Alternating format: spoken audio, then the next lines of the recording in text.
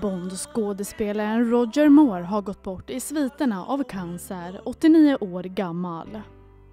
Han dog bara ett år efter att hans styvdotter Christina dött i samma sjukdom. Då skrev han själv om dödsfallet och skrev bland annat att vi var alla med henne och omringade henne med kärlek till slutet.